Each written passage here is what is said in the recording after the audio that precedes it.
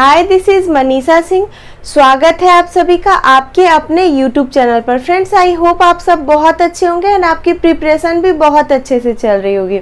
तो आज की वीडियो होने वाली है बहुत ही यूनिक क्योंकि बहुत सारे स्टूडेंट्स का ये क्वेरी था, वो डिमांड कर रहे थे कि मैम आर्मी एम की जो अपकमिंग रिक्रूटमेंट है, उसके लिए आप हमें सिलेबस बताओ एग्ज़ाम की। तो आज की जो वीडियो होने वाली है एग्ज़ाम सिलेबस से रिलेटेड होने वाली है। तो चलिए हम लोग ज़्यादा टाइम वेस्ट नहीं करते हैं, फटाफट से वीडियो को स्टार्ट कर लेते हैं। लेकिन सिलेबस जानने से पहले जो बच्चे न्यू है फ़र्स्ट टाइम इस वीडियो को देख रहे हैं उनको बताते चलूँ कि यहाँ पे आर्मी एम रिक्रूटमेंट की जो है नोटिफिकेशन ऑफिशियली अनाउंस कर दी गई है जिसमें टोटल पोस्ट 41,822 रखा गया। एज लिमिट की अगर बात की जाए तो minimum 18 years and maximum 30 years age की लिमिट रखी गई है। रिलैक्सेशन भी दिया जाएगा ओबीसी को थ्री ईयर्स का एस सी को फाइव ईयर्स का मिलेगा। रही बात फॉर्म की फ़ी की तो जनरल ओबीसी एंड ईडब्ल्यू से हंड्रेड रुपीज़ चार्जेस लगेंगे। S C and female candidates का यहाँ पे कोई चार्ज नहीं लगने वाला है। क्वालिफिकेशन की अगर बात की जाए tenth twelfth and higher qualification मतलब कि पोस्ट वाइज ना ये वैरी करता है। उसके बाद अभी हम लोग देखेंगे सिलेक्शन की प्रोसेस कि आपका सिलेक्शन जो है, किन किन स्टेज से गुजरने के बाद होगा। तो चलिए फ़र्स्ट ऑफ़ ऑल बताते चलो आपका। आपका सिलेक्शन फोर स्टेज पे डिपेंडेबल रहने वाला है। फ़र्स्ट होगा रिटर्न एग्ज़ाम ऑफलाइन पेपर होता है, सारे डिफेंस के एग्ज़ाम में ऑफलाइन ही पेपर लिया जाता है। उसके बाद फ़िज़िकल या फिर स्किल टेस्ट ये आपका पोस्ट वाइज ना वेरी करेगा कि जिस जिस पोस्ट के लिए रिक्वायरमेंट होगी, होगा अदरवाइज़ सिर्फ़ फ़िज़िकल होगा। किसी किसी में सिर्फ़ स्किल टेस्ट होगा। उसके बाद डीवी यानी कि डॉक्यूमेंट वेरिफिकेशन फिर जाके आपका मेडिकल होता है। तो आपने पोस्ट भी देखा कि इतना अच्छा खासा है सिलेक्शन की प्रोसेस भी समझ लिए हो। तो आप ये सोचो कि आप अपना कैसा तैयारी करोगे, कहाँ से तैयारी करोगे कि आपको एक सीट मिल जाएगी।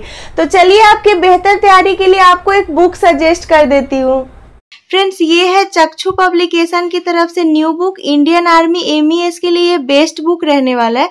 इसमें फ्रेंड्स आपको जो है अट्ठाईस सौ पचास प्लस वस्तुनिष्ठ, यानी कि आपका ऑब्जेक्टिव क्वेश्चन है, व्याख्यात्मक हल सहित। और ये आपको एज पर न्यू पैटर्न मतलब न्यू एग्ज़ाम पैटर्न और सिलेबस के अकॉर्डिंग इसमें सारा कुछ बताया गया है। आगे आप यहाँ पर देख सकते हो फ्रेंड्स कि सब्जेक्ट वाइज ना जो एग्ज़ाम रेलेवेंट चैप्टर से कौन कौन सा क्वेश्चन पूछा जाता है, सब कुछ ना डिस्क्रिप्टिव वे यानी व्याख्यात्मक हल के साथ दिया हुआ है। और आप लोग देखो बुक में कितना अच्छा से सारा कुछ एक्सप्लेन कर रखा है। तो अगर आप भी इस बुक को खरीदना चाहते हो तो मिल जाएगा आपके नियर बाई बुक स्टोर्स पे। तो आप जाके अपने नज़दीकी किताब दुकान से इसको खरीद सकते हो। चलिए फ्रेंड्स पहले हम लोग देख लेते हैं कि एग्ज़ाम की क्या पैटर्न है। एग्ज़ाम में आपको रहेगा हंड्रेड क्वेश्चन हंड्रेड मार्क्स के लिए। टाइम मिलेगा टू आवर्स का निगेटिव मार्किंग भी रहेगी ज़ीरो पॉइंट टू फाइव का। यहाँ पर सब्जेक्ट वाइज अगर बात करें तो रीजनिंग के 25 क्वेश्चन 25 मार्क्स के लिए मैथमेटिक्स के 25 क्वेश्चन 25 मार्क्स के लिए जनरल इंग्लिश के 25 क्वेश्चन 25 मार्क्स के लिए जनरल अवेयरनेस के 25 क्वेश्चन 25 मार्क्स के लिए।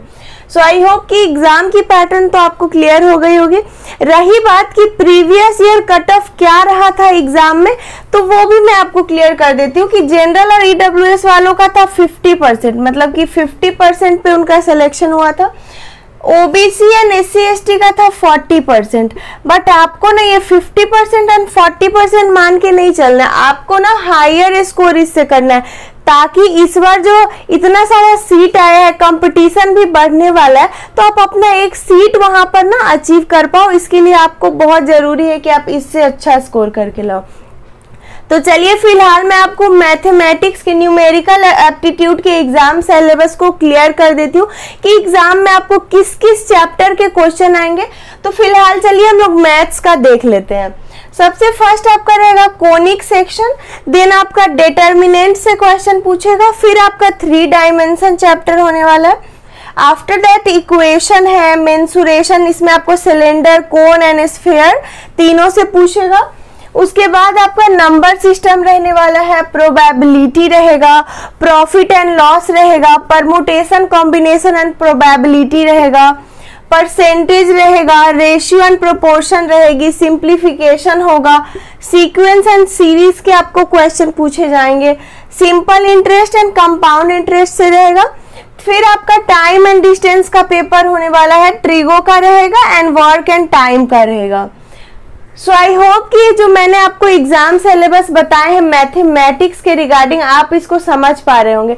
और सिलेबस थोड़ा वास्ट है, जैसे कि अभी आपका reasoning English and general knowledge की भी सिलेबस है तो वो आपको मैं अपकमिंग वीडियो में बताऊँगी, क्योंकि एक ही वीडियो में इतना पॉसिबल नहीं है बता पाना, फिर आप लोग भी बोर होने लग जाओगे। तो वो मैं आपको नेक्स्ट वीडियो में जो बाकी सिलेबस है बता दूँगी। और अगर इसके रिगार्डिंग फुल डिटेल वीडियो आप देखना चाहते हो पोस्ट के रिगार्डिंग तो मैंने ऑलरेडी अपलोड कर रखा है। अनदर वीडियो में आप जाके देख सकते हो। और अगर मेरी वीडियो पसंद आई हो तो वीडियो को भर भर के लाइक कर देना। चैनल को सब्सक्राइब करके नोटिफिकेशन बेल को फ्रेंड्स आप ऑल पे सेट कर देना।